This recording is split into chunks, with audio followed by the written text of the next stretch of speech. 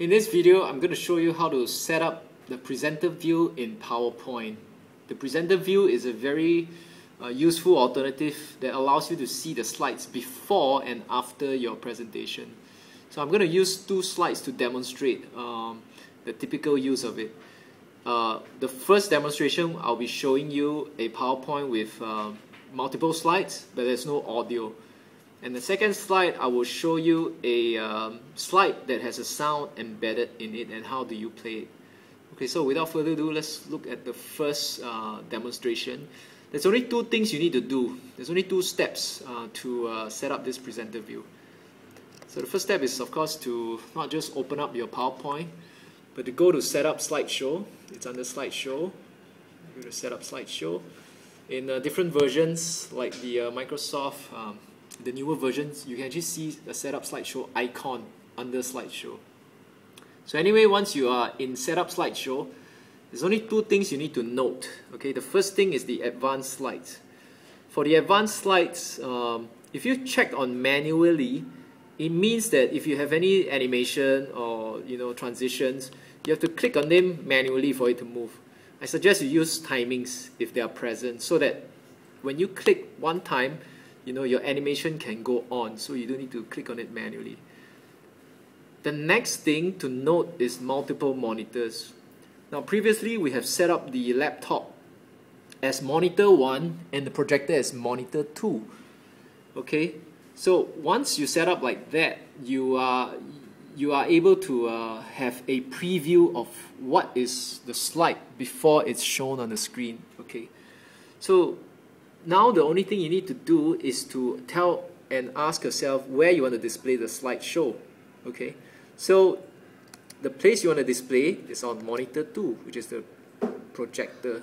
Okay, and just a note here, see show presenter view. You need to select this before you can use the presenter view. So once this is done, okay, click OK.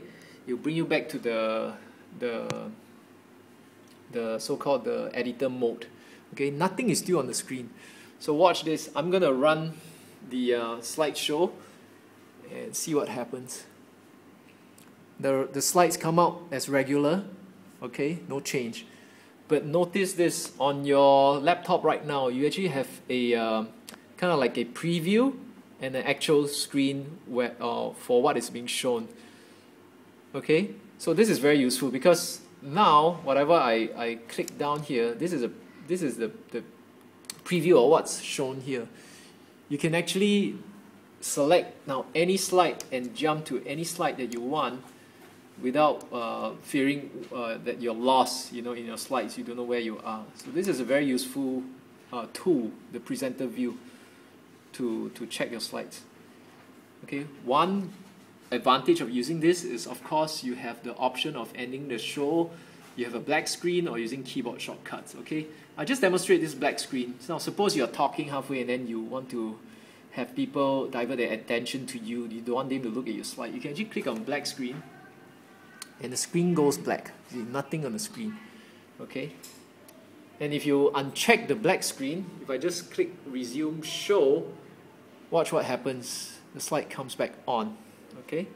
So this is a very useful tool, the presenter view. Okay, so to recap, let me just escape and end the show. Go to setup slideshow. Okay, once you open your slide, which is here, Make sure that your slides, you if you have timing for your animation, select use timing if present and after you've extended your desktop, make sure that you select monitor 2 to display your slideshow and make sure, make sure that you have this checked, this box, show presenter view. Okay, and then just run the slide. Now I'm going to demonstrate the next uh, PowerPoint where you have a sound embedded on it Previously, I explained that um, to have sound playing from a laptop, you need to have your audio jack, okay, for your laptop connected to your headphone, okay, output, and make sure that it's connected into the channel, and make sure there's some volume there, okay. Master volume is up, and the channel volume is up. So, here's what you do. You have a, I have a slide here with a audio to play. Now, unlike a regular slide, unlike a regular slide where you don't have an extended desktop, okay, and you're not using presenter view, you can actually click directly on screen the icon and it will work. Now, but if you are in presenter view, it's different, okay? Let me just demonstrate. So I'm in presenter view right now. I run my slide, okay, you can see that the slide is shown. Now, but how do I get sound out from this? Now, I can't click it in the preview mode because if I click, you'll see that it just uh, tells me to advance the slide. Now, but I have no more slides.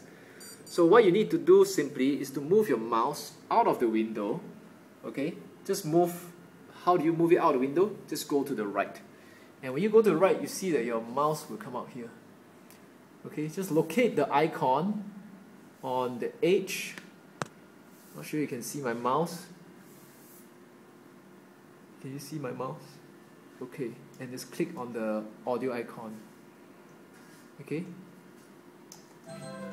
sound will be playing. Okay. So now you have the option of uh, using the presenter view to run your slideshow. It really depends on uh, what situation you prefer. For me, I would uh, rather use presenter view if, if I have many slides. If not, I will use a single slide show uh, to display this. And maybe as a bonus, this is the last thing I will show you, how to run a slideshow without the presenter view.